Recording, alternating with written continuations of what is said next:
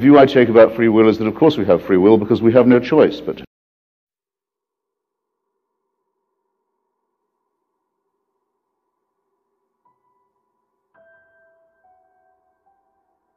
Actually, we are all thinking the same way in our own life.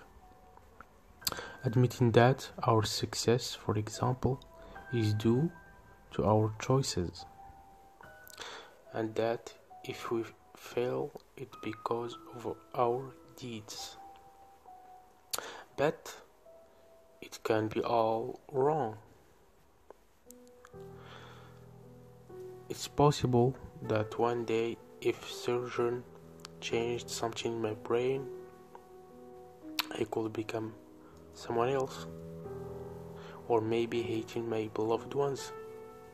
In that case, can we say that humankind is free, or that a person put in jail he went there by choice,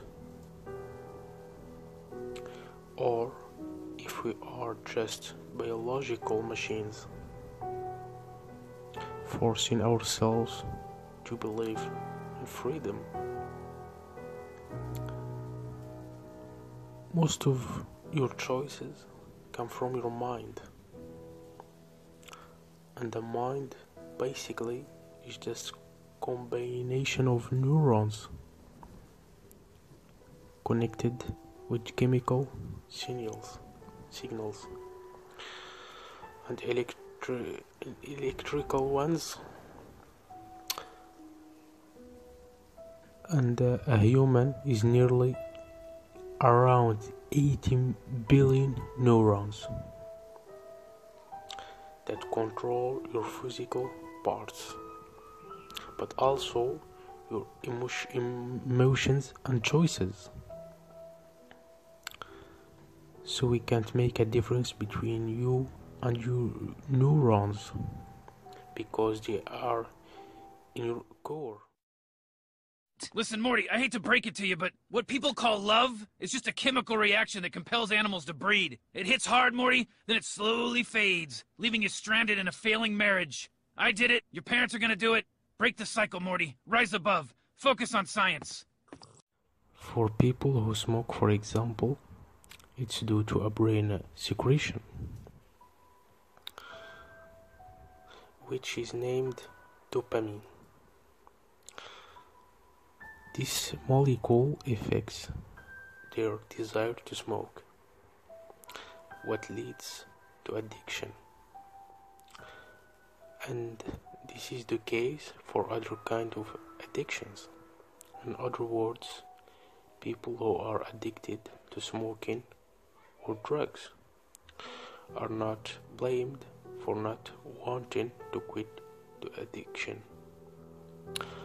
But to quit it, they have to overcome a desire that comes from some molecules secreted in their veins. There is a weird famous experience about this. Olds and Milner experience. They took some rat rats for the experience, and by chance, and uh, after deep brain simulation experience, which is uh, a neurosurgical procedure involving the implantation of electrodes in the brain to send electro- electrical impulse. And suddenly an uh, electrode has been moved from its place. And then they noticed that a rat admired to be electrically impulsed. So they made a button. The rat can press to get electrical impulse in the brain. And the rat become immediately addicted to this button. So it pressed again and again. It didn't eat or sleep no more till it died. Other experiments have been performed for humans. Robert G. Heath experiment, for example. By the way, these kind of experiments are actually prohibited nowadays for its immorality. So this scientist made the same deep brain simulation technique for people who are diagnosed with mental health problems like schizophrenia. Wow, that's a, that's a, a difficult word to pronounce. So, the scientist noticed that depending on each person and brain area where he implants the electrode, he got very different results for each patient. He even noticed some emotions like happiness, upset, or fear. For example, a woman felt very happy after an electrical impulse and she wants to experience it again each time. In contradiction, another woman gets very upset. And, um, and we're here we see clearly our rat's brain and humans too uh, are just like a machine, you know. And if you play with it, you can break their natural system. So, I, uh, personally, I could not accept these ideas at first, years ago. Uh, because it proves that uh, all what we believe we can control like legs our body and choices in life are actually things we have no choices in and finally we control nothing in this world and here someone can say that we are not talking here about the normal freedom of choice. Since these patients in the experiments do have mental problems and their brains are not insane, which means an individual is free until he gets a problem in the brain, like mental disease or getting injured.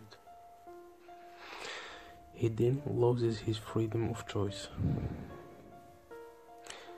Um, actually, that's a good thinking, but see with me that uh, you know, let's uh, let's uh, play a little game. Think and choose a city in the world that pops in your head right now. A random city. I will count to until three. So one two three. Okay. You decided which city you, you choose? Okay. Here is a question explain me how you arrived to this choice? Was it just was it, was it just like you know boom in your head? Or you had uh, or you had many cities in your head? Like Tokyo, Rio, New York, Moscow, Oslo, Berlin. Um, maybe you choose New York or Paris because it's uh, your current city. And uh, but most likely you didn't choose you know like uh, like uh, Brasilia or Brisbane or Kyoto in Japan you know like uh, a little city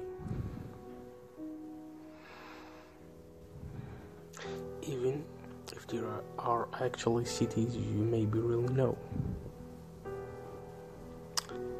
The reason for this is that your subconscious mind always chooses the first thing in its way. It doesn't put a lot of effort here to not lose its energy. So after your subconscious mind choose the city, you get then conscious with that city chosen. And you try to justify this unconscious unconscious choice. Which means it's like uh, if we give you a random city. And then ask you to explain why this city exactly but in fact the city wasn't your real own choice and neither your subconscious choice. The view I take about free will is that, of course, we have free will because we have no choice. But um, a lot of experiences have been done for this, and they prove it right. Like, for example, an experience where scientists um, give some people a choice to press right or left button and after brain signal analysis, scientists could predict these people's choices before they got conscious about it. Yes, a lot of seconds ago, which means you had already took that decision. seconds before you got conscious about it. It's true now that these experiences I have been showing you or telling you about were done with simple materials like pressing buttons and so on. But it's also simple now to imagine that even more complicated choices are controlled by the subconscious mind and we try to justify it after. Like, for example, these companies that are playing paying billions of dollars to advertising in TV or internet.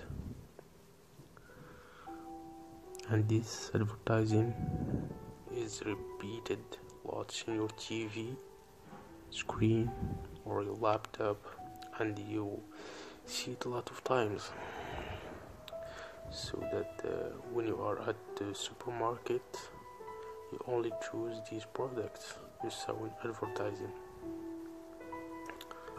And you think that you choose the product over another because you simply liked it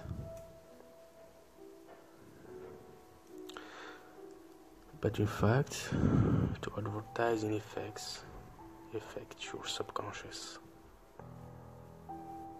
so that it made the easiest choice for it. Actually, here are many other philosophical questions that one kind thinks of. We end up to lots of questions that I won't be answering here. But I wish that you to think about and try to answer them answer them. Maybe in the future um, some big projects like the human brain project that aims to simulate the human brain and studying it. This project can give a new definition of the free will and it can eliminate this fear we feel towards these philosophical questions but Actually, my, me myself, this is the first time I feel scared of what science can discover in the future about that. All what we have seen now prove that the freedom of choice doesn't exist. Imagine that we prove it more and be even very sure of that in the future. To be sure that a human is not more than a biological machine and that all his choices and the freedom we always imagined is just an illusion that has been programmed in us to survive, get old, married, and so that at the end humanity can survive. In this case, those life remain meaningful